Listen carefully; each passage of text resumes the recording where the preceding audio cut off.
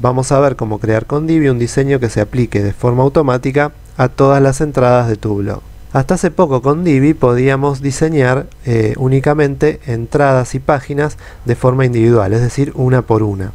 Eh, es cierto que podíamos clonar un diseño ya existente para crear una página que sea parecida a otra que ya teníamos, pero esto de ninguna manera era práctico para eh, cuando teníamos un blog con muchas entradas, principalmente porque si en algún momento eh, necesitábamos hacer un cambio en la estructura de las entradas, debíamos hacer la modificación en cada entrada una por una. Así que si teníamos un blog no nos quedaba otra alternativa que conformarnos con el diseño básico de entradas de Divi, que es esto que estamos viendo, y que la verdad no tenía prácticamente opciones de configuración más que unas pocas. Bueno, esta limitación llegó a su fin porque eh, Divi 4.0 incluye una herramienta que nos permite crear un diseño con el mismo constructor Divi, con las mismas herramientas del constructor Divi y que después se va a aplicar automáticamente a todas las entradas del blog. Bueno, vamos a ver cómo crear esta plantilla de entradas con Divi. Tenemos que ir a la opción Divi y vamos a ver que hay una subopción ahora que se llama Theme Builder. Y en el Theme Builder lo que vamos a hacer es agregar una nueva plantilla, add new template, y le vamos a decir que esta plantilla eh, se asigne a todas las entradas del blog. Creamos y acá ya tenemos nuestra plantilla a la que ahora le podemos agregar una cabecera personalizada, un cuerpo y un pie de página. En este caso lo que nos interesa es Add Custom Body porque vamos a construir la plantilla completa y le damos después de vuelta a construir un cuerpo personalizado y ahora como ves se activa el constructor Divi que ya conocemos que ya vimos en otros videos podemos elegir un diseño clonar una página existente o construir desde cero. Vamos a, construir desde cero en este caso. Lo primero que vamos a hacer es agregar una nueva fila. Dentro de esta fila un módulo de texto que vamos a usar para eh, mostrar el título de la entrada. En el módulo de texto vamos a borrar todo este texto predeterminado y vamos a usar las opciones eh, de contenido dinámico para mostrar justamente el título que es esta que dice acá post eh, archive title.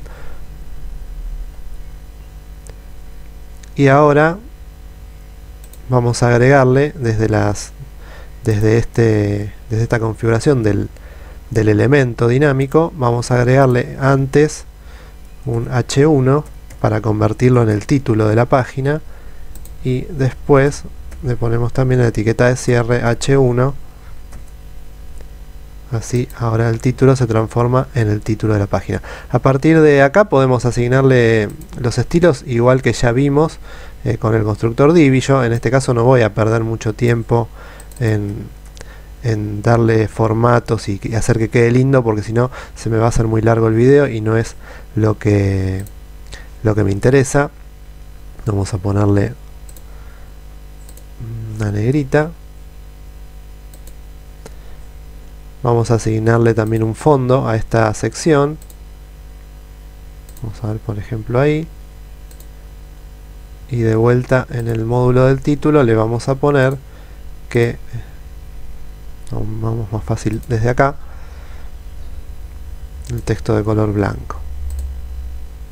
Ahí ya tenemos la primera parte de nuestra de nuestra entrada para agregar la, imagen destacada. Bueno vamos vamos a venir acá a otra sección. Vamos a poner agregamos otra sección regular.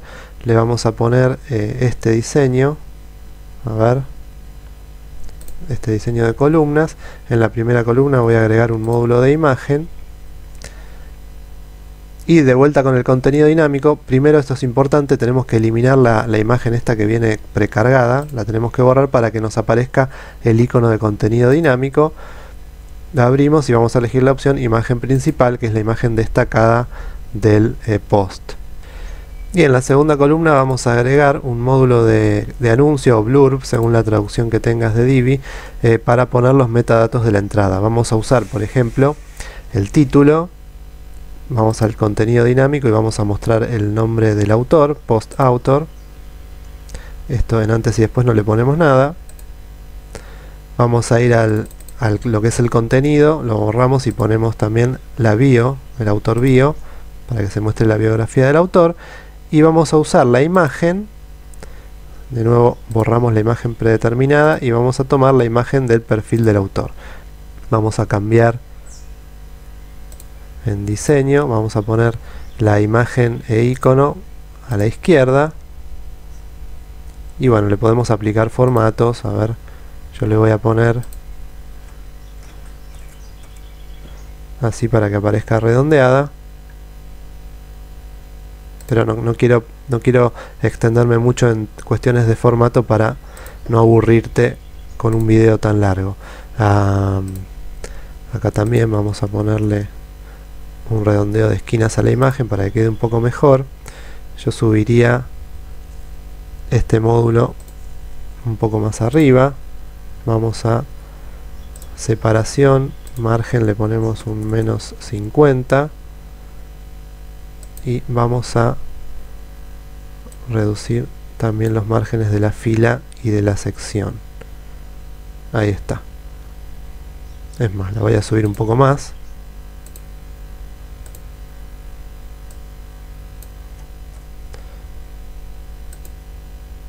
vamos a agrandar un poquito la imagen. Para eso tenemos que ir a diseño. Está escondido esta, esta opción no está dentro de las opciones de imagen e icono sino en tamaño. Y acá que dice anchura de la imagen 100% le vamos a poner por ejemplo 50 píxeles y ahí se agranda un poquito. Bueno guardamos mientras tanto y vamos a seguir añadiendo los metadatos de la entrada. Para eso vamos a usar otros módulos voy a agregar otro módulo de anuncio y vamos a poner eh, las categorías a las que pertenece esta entrada. Para eso vamos a usar el título y le vamos a poner category, eh, post categorías enlace a las páginas de índice de categoría le ponemos que sí y eh, lo demás lo dejamos como está. Esto lo borramos. Ves que ahí ya aparece y le vamos a agregar un icono usar icono y vamos a elegir eh, un icono a ver apropiado para las categorías que puede ser. Este por ejemplo lo vamos a diseño y también lo ubicamos a la izquierda. Ahí está. Y bueno podemos ajustar el texto de de la categoría en este caso está un poco grande ahí está. Y vamos a achicar un poquito el icono. Le vamos a, vamos a buscar la opción usar tamaño de fuente de icono y lo vamos a poner por ejemplo en 20 ahí está, me queda un poco mejor. Y vamos a duplicar este mismo. Ahora vamos a poner los comentarios.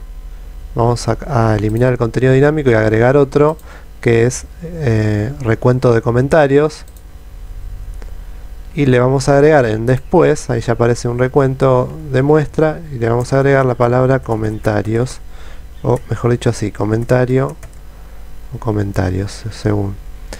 Enlace al área de comentarios le dejamos que sí y vamos a asignarle sí, otro icono distinto más apropiado para lo que son comentarios por ejemplo este. Y podemos agregar uno más para la fecha de la entrada. Vamos de vuelta. Contenido dinámico del título. Y vamos a buscar eh, fecha actual no. Fecha de publicación. Y esto lo ponemos así. Y vamos a buscar otro icono más apropiado. Que puede ser el, hay un icono que es como un calendario. Acá Vamos a poner eso. Bueno, ahí tenemos la, toda la primera parte de nuestra entrada con el título, la imagen destacada, autor, categoría, comentarios y la fecha de publicación. Vamos ahora a crear una nueva fila o yo a ver pondría agregaría una nueva sección mejor regular y una fila de ancho completo para agregar lo que, lo que va a ser el contenido propio de la entrada. Esto lo vamos a hacer con un módulo que se llama post content o contenido del post que es un módulo nuevo que también le incorpora esta, esta versión 4.0 de Divi, no estaba en el, en el constructor hasta ahora. Eh, y lo que hace es tener un modelo de, entrada con todos los elementos que puede haber en el contenido de una entrada, los títulos, los distintos eh, encabezados, una imagen, eh, la cita, los párrafos, las listas ordenada y desordenada. Y nosotros desde acá vamos a darle formato a cada una de estas cosas. Por ejemplo, abrimos y vamos a decir que a las imágenes les aplicamos una, un sombreado un sombreado de fondo, por ejemplo este. Podemos aclarar un poquito el color. Para que destaque el borde de la entrada. Podemos asignarle, o se me cerró. Podemos asignarle un tamaño de letra y un, tipo de letra a cada uno de los encabezados. Este es el, H1, el H2, el H3. Podemos asignarle un tamaño de letra a los párrafos. A mí me parece que este está muy chiquito, así que vamos a ponerlo a ver en 16 píxeles. Sí, en 17. A mí me gusta la letra grande. Y vamos a aumentar la altura de línea. Ahí. Y de esta forma podemos ir cambiando el formato de cada uno de los elementos que puede llegar a ver en el contenido de cualquier entrada. Bueno, ahora vamos a agregar otro módulo que es el de navegación navegación por los medios. Esto es totalmente opcional, pero bueno, es algo habitual en blogs, la, típica flechita para pasar a la entrada siguiente y a la entrada anterior. En este caso vamos a ponerle el texto, el texto anterior, vamos a ponerle entrada anterior y entrada siguiente. Y algo muy común que suele haber al final de la entrada es recomendaciones de entradas similares o de la misma categoría. Así que vamos a agregar otra sección, también con otra fila de ancho completo, y vamos a usar el módulo de blog para agregar las entradas relacionadas. Vamos a usar el diseño de rejilla, no el de ancho completo, para que se muestren una al lado de la otra, así como estás viendo vamos a ir a contenido y le vamos a decir que muestre entradas de la categoría actual para que sean entradas relacionadas con la que estamos leyendo podemos achicar un poco eh, la longitud del, de la, la reseña.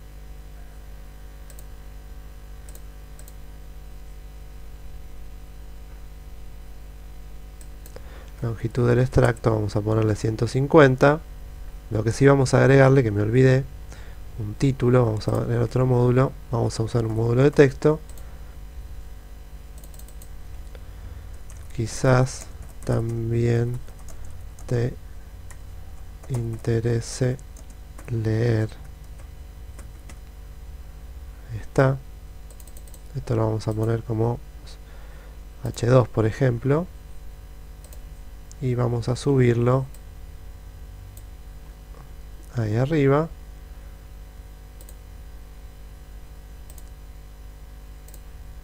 Era un H2 así que vamos a ponerlo en negrita muy lejos así que vamos a achicar los márgenes de las secciones los, padding en realidad, lo que se llama relleno. Y nos está faltando lo más importante en cualquier entrada, que son los comentarios. Así que vamos de vuelta con eh, otro módulo, vamos a agregar otra fila de ancho completo y vamos a poner el módulo de comentarios.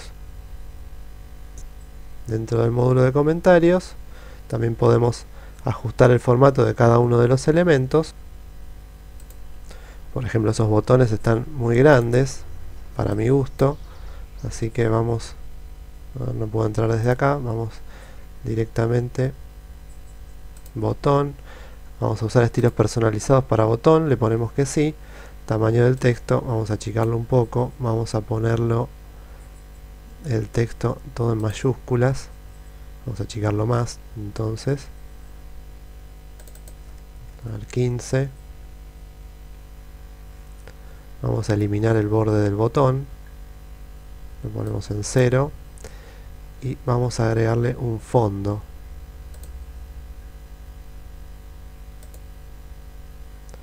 Fondo y el tamaño del texto blanco. Ahí está. Podríamos quitar ese título que dice 12 comentarios porque puede haber entradas que no tengan comentarios a lo mejor quede medio feo que diga cero comentarios o un comentario. A mí en realidad no me gusta eso se puede hacer desde contenido eh, mostrar autor mostrar botón de respuesta mostrar el número de comentarios ahí eliminamos ese título. Bueno, ya prácticamente tenemos el layout o el diseño de la entrada completo, más allá, lógicamente, de darle un poco más de formato para que quede lindo. Yo acá no, no quise perder tiempo con eso, pero ya tenemos una entrada entera, así que vamos a guardar los cambios.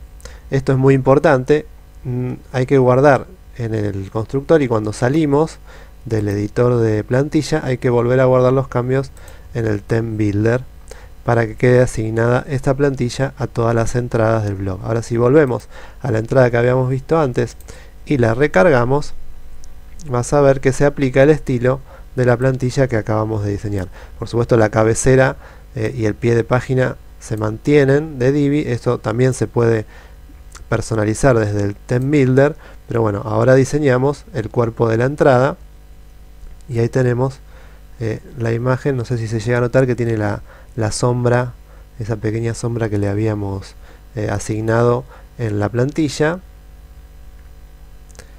las imágenes, eh, las entradas relacionadas y los comentarios.